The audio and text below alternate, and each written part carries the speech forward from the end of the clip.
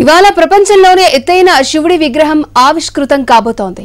మహాదేవుడి విగ్రహాన్ని రాజస్థాన్ ముఖ్యమంత్రి అశోక్ గెహ్లెట్ ఆవిష్కరించబోతున్నారు. అంతేకాదు నా ద్వారా వేదికగా జరుగుతున్న ఈ కార్యక్రమంలో భాగంగా తొమ్మిది రోజుల పాటు సాంస్కృతిక ఆధ్యాత్మిక కార్యక్రమాలు జరగనున్నాయి.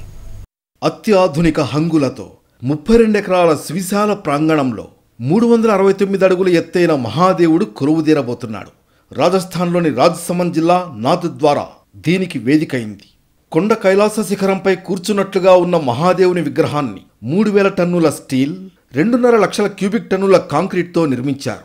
విశ్వాస్ విశ్వరూప్గా పిలుస్తున్న ఈ విగ్రహం ఇరవై కిలోమీటర్ల దూరం వరకు కనిపిస్తుంది. అంతేకాదు ప్రపంచంలోనే అతి ఎత్తైన శివుడి విగ్రహంగా రికార్డులకెక్కబోతోంది. ఈ భారీ శివుడి విగ్రహాన్ని నిర్మించడానికి పదేళ్ళు పట్టింది. రెండు వేల పన్నెండు ఆగస్టులో శంకుస్థాపన చేశారు. అప్పట్లోనూ సీఎంగా ఉన్న అశోక్ గెహ్లాట్ ఆధ్యాత్మికవేత్త మొరారి బాపు భూమి పూజ చేశారు. ఇప్పుడు వాళ్ళిద్దరి చేతుల మీదుగానే ఆవిష్కరణ జరుగుతుండడం విశేషం. విశ్వాస్ విశ్వరూప్ ఆవిష్కరణ సందర్భంగా తొమ్మిది రోజుల పాటు సాంస్కృతిక ఆధ్యాత్మిక కార్యక్రమాలు ఏర్పాటు చేశారు. నవంబర్ ఆరు వరకు ఈ కార్యక్రమాలు కొనసాగుతాయి.